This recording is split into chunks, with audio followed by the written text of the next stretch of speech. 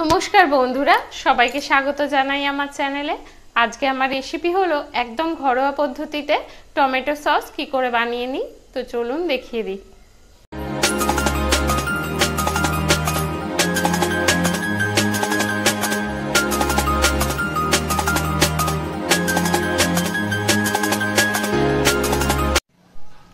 Tomato sauce বানানোর জন্য এখানে আমি এক কিলো মতো টমেটো নিয়ে নিয়েছি।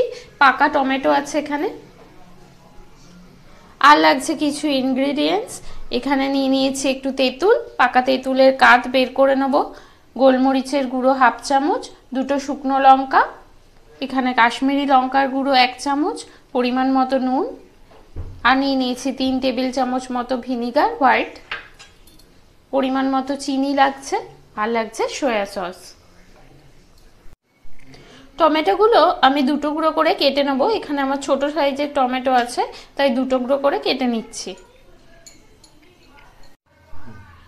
টমেটোগুলো কাটা হয়ে গেছে, এখানে কড়া বসিয়ে নিয়েছি, এবার এগুলোকে আমি কড়াতে দিয়ে সেদ্ধ হতে দেবো।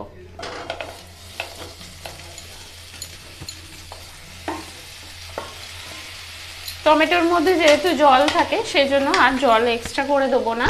এইভাবে আমি এটা চাপা দিয়ে রাখলাম সিদ্ধ হওয়ার জন্য। পাঁচ সাত মিনিট পরে ঢাকনি খুলে দেখে নিচ্ছি। অনেকটাই গলে গেছে। দেখুন আরও গলে যাবে এগুলো। এই সময় আমি শুকনো লঙ্কা দুটো এর সঙ্গে অ্যাড করে নিলাম। এগুলো ভালো করে সিদ্ধ হয়ে যাবে, এর সঙ্গে মিশে যাবে। ফিরে আসলাম পাঁচ সাত মিনিট পরে। টমেটোটা খুব ভালো মতো সেদ্ধ হয়ে গেছে, গ্যাস অফ করে দিলাম। এবার এটা আমি ঠান্ডা করে ব্লেন্ডারে ব্লেন্ড করে নেব। তো সেদ্ধ করে নেওয়া টমেটোগুলো খুব ভালো করে মিক্সিতে পেস্ট করে নিয়েছি।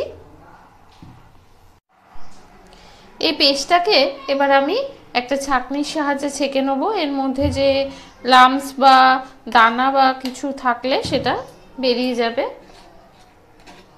এভাবে একটা চাকনির সাহায্যে ছেঁকে নিচ্ছি। তো টমেটোগুলো খুব ভালো করে ছেঁকে নিয়েছি।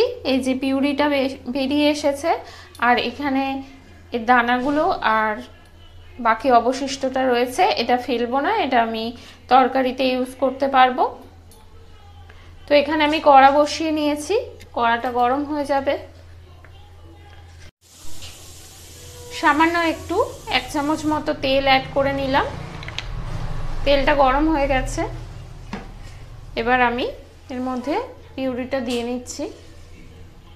এটাকে খুব ভালো করে ফুটিয়ে নেব। আর এর মধ্যে কিন্তু আমি একটুও জল অ্যাড করিনি।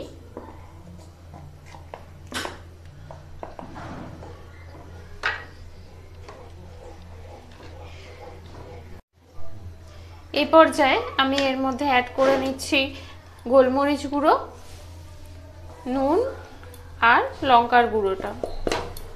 খুব ভালো করে মিশিয়ে নিলাম।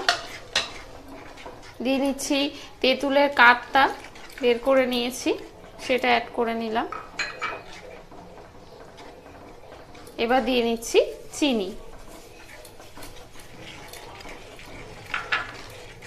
খুব ভালো করে মিশিয়ে এটাকে ফোটাতে থাকব, যতক্ষণ না এটা খুব ভালো মতো ঘন হয়ে যাচ্ছে। এর মধ্যে অ্যাড করে নিচ্ছি এক টেবিল চামচ মতো সয়া সস টেস্টের জন্য। খুব ভালো করে মিশিয়ে নেব সমস্ত কিছুকে। সসটা অনবরত নাড়ার ফলে বেশ খানিকটা ঘন হয়ে গেছে। এই পর্যায়ে আমি ভিনিগারটা অ্যাড করে নিচ্ছি।